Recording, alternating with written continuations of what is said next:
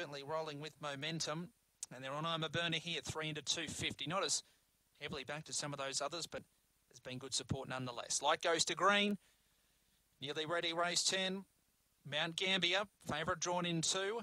Set racing. I'm a burner step poorly. He's going to settle last. Good speed from Overload, who sets up camp in front. Led two lengths to Blaze and Diamond second. Funny enough, gets to third. Then came Marshall Flyer further back to Gypsy Warrior and I'm a burner's last. But it's all Overload running towards the turn. Still five lengths in front. Blaze and Diamond's trying hard. So uh, likewise, I should say, funny enough, and also Marshall Flyer. But Overload all the way wins by four lengths. Second, Blaze and Diamonds. Third, maybe overload just in front of Marshall Flyer. Uh, then came Funny Enough and Gypsy Warrior was towards the rear.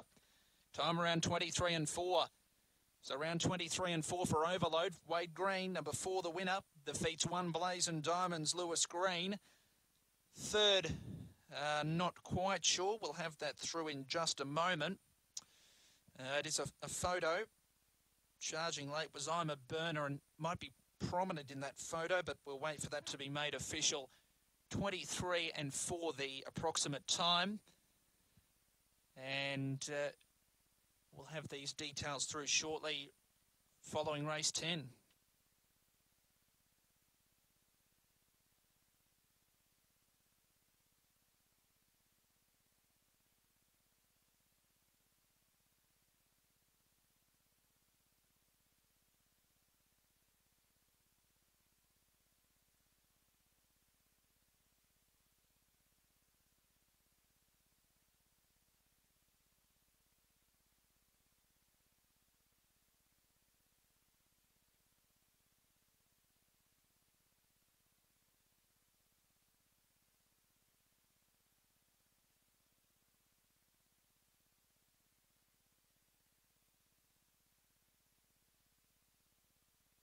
Officially third is number seven, Marshall Fly. Fourth to two, I'm a burner. So it's 4 1 7 2. Three lengths by a length. The margins 23 39.